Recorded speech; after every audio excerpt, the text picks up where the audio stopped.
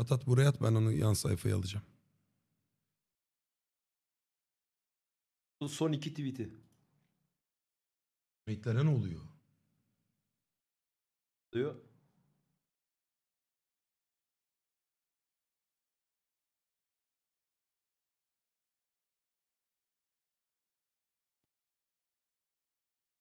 Yayında izlenmeyecek bir tarafı yok bu arada. Ben Ha tamam ben hani şey sandım da. Anda salıya geçtik. Gece saat 0.30'da.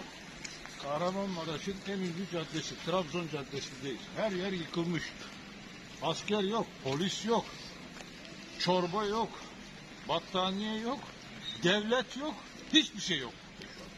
Hiçbir şey yok.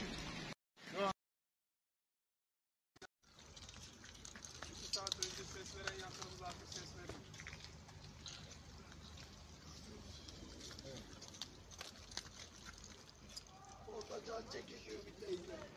Saatlerdir bağırıyor.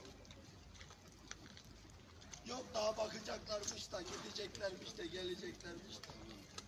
Demir keskimiz yok. Çıkartamıyoruz.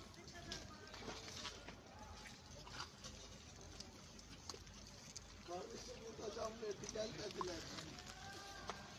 Yok kimse. Abi çok kötü ya. Vallahi şey yani hani böyle çaresizlikleri çok kötü ya. Demir keskimiz yok açamıyoruz diyor. Can çekişiyor orada diyor ya. Kardeşim burada verdi gelmediler. Yok kimse.